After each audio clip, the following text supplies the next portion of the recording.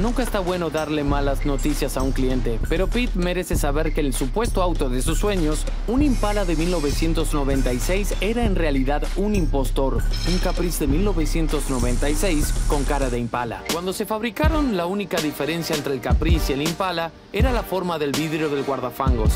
Cortamos un par de piezas de un viejo Impala, así podemos transformar el Caprice en Impala de una vez por todas. Pasó un buen tiempo. Pete sueña con este Impala desde los años 90 y hoy su sueño se volverá realidad.